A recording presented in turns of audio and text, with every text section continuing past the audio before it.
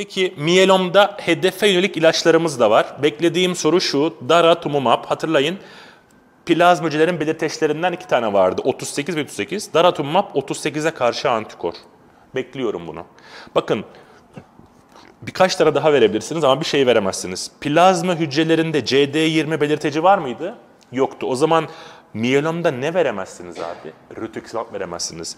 Daratumumab'ın verildiğini bil, rituximab'ın verilemediğini unutma. Peki şimdi bu hastaların kemiklerinde osteoklastlar azgın gibi çalışıyorlar. Peki benim bunları ne yapmam lazım? Osteoklastları durdurmam için bir fosfonat vermem lazım. Bakın şimdi ben bu hastalara bir fosfonatı uzun süre verirsem bir fosfonatlar çene nekrozu yapıyor. Buna bir isim vermişler. Bir fosfonat ilişkili çene nekrozu. İngilizcesi şu. Bir fosfonat related osteonecrosis of jaw. Şöyle sorabilirler. Bir tane hastamız var. Bir kemik erimesi için ilaç veriyoruz hastamızın çenesine nekroz gelişti. Bu ilaç hangi ilaçtır? Bak adı belli zaten. Bir fosfonatla ilişkili çene nekrozu iki defa yan dalga çıktı. TUS'a hiç gelmedi. Çene nekrozu yapan kemik erimesi ilacı. Ben bunu size osteoporoza da söyleyeceğim. Bir fosfonatlar çene nekrozu yaparlar. Başka? Bu hastalarda antikorlar bazen damarı tıkayabilir hiperviskozite yapabilir. O zaman ne yapacağız? Bizim plazmadan bu antikorları temizlememiz lazım. Plazmadan antikor temizleyen yöntem hangisi? Plazma ferez. Bakın bugün çaktırmadan size ben aferezleri öğrettim. Mesela oraklaşmış eritrositleri biz nereye temizledik hatırlıyor musun? Eritrosit afereziyle. Lösemi olduk, damarlar lökositle tıkandı. Neyle temizledik? Lökosit afereziyle. Plazma bozuldu. Plazmayı neyle temizliyoruz? Plazma ferezle. Yani neyi temizlemek istiyorsan yanına aferezi ekliyorsun, o onu temizliyor. Bu kadar. Şimdi geldik soliter plazmositom. Evet, şu anda yine plazma hücrelerimiz çoğalıyor ama bu sefer kemik iliğinde değil. Kemik iliğinde plazma sayısı artmıyor. Peki nerede artıyor? Kemik dışında vücudun herhangi bir yerinde ama tek bir yerinde ama en sık da kemiğin korteksinde, iliğinde değil. Kemiğin korteksinde en sık burada plazma hücreleri çoğalıyor. Peki hocam en sık hangi kemiğin korteksinde? Cevap vertebralarda. Evet en sık aksiyel iskelet. Ama bazen kemik dışında yumuşak dokularda da olur. Bunu patoloji sor. Dediler ki ekstramedüller plazmostoma en sık nerede yer alır? Cevap nazofaringste yer alır. Peki hocam biz soliter plazmastom tanısını neyle koyuyoruz? Dört kriteri de karşılayacağız. Vücutta tek bir yerde plazma sayısı artacak. Kemik iliğinde plazma artsın mı? Artmasın. Peki tüm vücut kemik görüntülemesinde başka bir kemik bölgesinde lezyon olsun mu?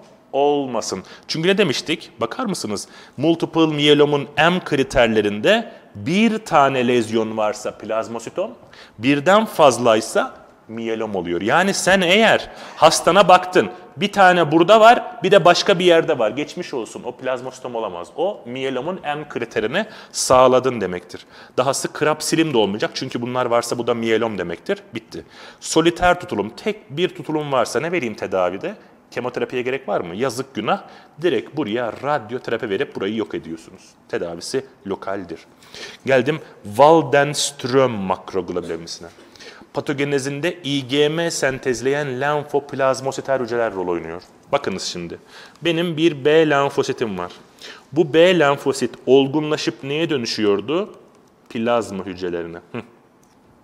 Bakın biz az önce bu olgun B lenfositi marinleştirdik. Marinleşince neye dönüştü bu? KLL'ye. Az önce biz plazma hücresini de marinleştirdik. Neye dönüştü?